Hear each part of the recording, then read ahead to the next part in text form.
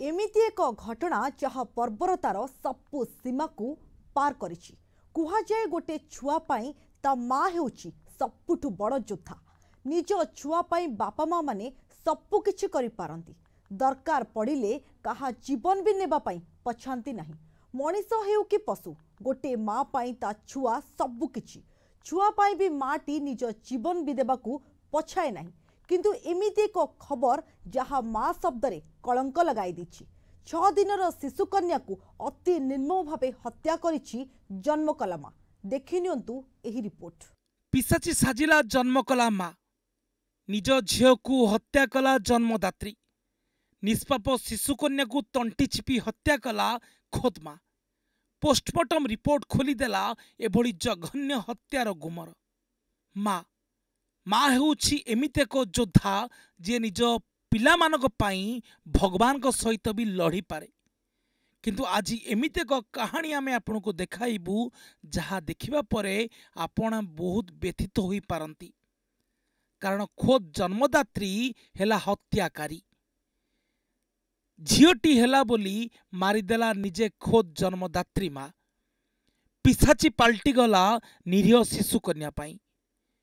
ମାର ଛାତିରୁ ଅମୃତ ପିଇ ଜୀବନ ଜିଇବା ଆଗରୁ ସେଇ ମା ହିଁ ତଣ୍ଟି ଚିପି ହତ୍ୟା କଲା ନିଷ୍ପାପ ଶିଶୁ କନ୍ୟାକୁ ନିଜର ଛଅ ଦିନ ଶିଶୁ କନ୍ୟାର ହତ୍ୟାକାରୀ ହିଁ ଖୋଦ୍ ନିଜେ ମା। ଏମିତି ଏକ ଘଟଣା ଘଟିଛି ବାଲେଶ୍ୱର ଅଞ୍ଚଳରେ। ନିଜେ ମର୍ଡର କରି ପରିବାର ଆଗରେ ଖସିଯିବାକୁ ଉଦ୍ୟମ କରୁଥିଲା ଖୋଦ୍ ହତ୍ୟାକାରୀ ମା। କିନ୍ତୁ ପୋଷ୍ଟମର୍ଟମ ରିପୋର୍ଟ ଖୋଲିଦେଲା ସବୁ ରହସ୍ୟ। ଘଟଣାଟି ଘଟିଛି ବାଲେଶ୍ୱର ଜିଲ୍ଲା କଦର୍ମ ଥାନା ଅଞ୍ଚଳରେ। ସେହି ଗ୍ରାମର ବଳରାମ ପାତ୍ରଙ୍କୁ ବିବାହ କରିଥିଲେ ବନ୍ଦନା। ସେମାନଙ୍କର ଦୁହିଁଙ୍କର ପୂର୍ବରୁ ଏକ ତିନି ବର୍ଷର କନ୍ୟା ସନ୍ତାନ ରହିଥିଲା। ପୁଣି ଏକ କନ୍ୟା ସନ୍ତାନ ଜନ୍ମ ହେବାରୁ ନିଜ ଗର୍ଭଧାରିଣୀ ମା ଖୋଦ୍ ପାଲଟିଗଲା ହତ୍ୟାକାରୀ। ଶିଶୁ କନ୍ୟାକୁ ହତ୍ୟା କରି ପୋଖରୀକୁ ଫୋପାଡ଼ି ଦେଲା ଘଟଣାଟି ଘଟିଛି ମାର୍ଚ୍ଚ ପାଞ୍ଚ ତାରିଖରେ। ପାଞ୍ଚ ତାରିଖ ଦିନ ପରିବାର ସଦସ୍ୟ ଭୋଜି ଖାଇବା ପାଇଁ ବାହାରକୁ ଯାଇଥିଲେ ଓ ଘରେ ଏକାକୀ ଥିଲେ ବନ୍ଦନା ଓ ନବଜାତ ଶିଶୁ କନ୍ୟା।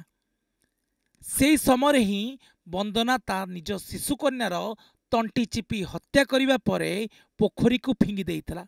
ଆଉ ଯେତେବେଳେ ପରିବାର ଲୋକ ଫେରି ଆସିଥିଲେ ପିଲା ଗାୟବ ହୋଇଯାଇଛି ବୋଲି ମିଛ କାନ୍ଦଣା କାନ୍ଦିଥିଲା। କିନ୍ତୁ ପୋଲିସ ଆସିବା ପରେ ପୋଖରୀରୁ ମିଳିଥିଲା ମୃତ ଶିଶୁ କନ୍ୟାର ମୃତଦେହ ପୋଷ୍ଟମର୍ଟମ ହେବା ପରେ କଥା ସାମ୍ନାକୁ ଆସିଲା। ପାଣି ଭିତରେ ପଡ଼ି ଶିଶୁ କନ୍ୟାର ମୃତ୍ୟୁ ହୋଇନାହିଁ।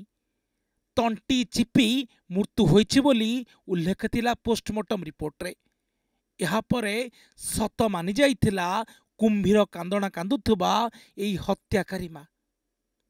ଏବେ ପ୍ରଶ୍ନ ଉଠୁଛି ନିଜ ଛୁଆଙ୍କୁ ରକ୍ଷା କରିବା ବଦଳରେ ଏବେ ପ୍ରଶ୍ନ ଉଠୁଛି ମା ମାନ ଏବେ ପ୍ରଶ୍ନ ଉଠୁଛି ଛୁଆଙ୍କ ପାଇଁ ବାପା ମା ରକ୍ଷକ ହେବା ବଦଳରେ ଭକ୍ଷକ ଯଦି ସାଜନ୍ତି ତାହେଲେ ପିଲା କାହା ପାଖରେ ହେବ ସୁରକ୍ଷିତ